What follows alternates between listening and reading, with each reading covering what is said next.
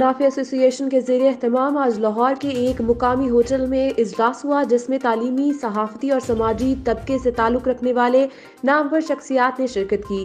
اجلاس میں پیف سکول اور پرائیویٹ سکولوں کے مسائل پر تفصیلی بات ہوئی۔ پیف پارٹنر کے مسائل حل کرنے اور پنجاب ایجوکیشن فاؤنڈیشن کے بہتر مستقبل کے حوالے سے بات چیت ہوئی۔ اجلاس میں پاکستان کی کئی نامور شخصیات نے نافع ایسوسی ایشن کے کاموں کو سراہا اور شرکا کی کثیر تعداد نے نافع ایسوسی ایشن میں شمولیت کا اعلان کیا۔ اجلاس میں فیصلہ کیا گیا کہ نافع ایسوسی ایشن حکومت پنجاب کے حکام بارہ تک پنجاب ایجوکیشن فاؤنڈیشن کی خدمات کی آگاہی دے گی اور پنجاب ایجوکیشن فاؤنڈیشن کے سالانہ بجٹ بڑھانے میں اپنا بھرپور کردار ادا کرے گی۔ اجلاس میں شرکا کا کہنا تھا کہ انشاءاللہ مستقبل میں پنجاب ایجوکیشن فاؤنڈیشن دنیا کا ایک مثالی ادارہ ہوگا۔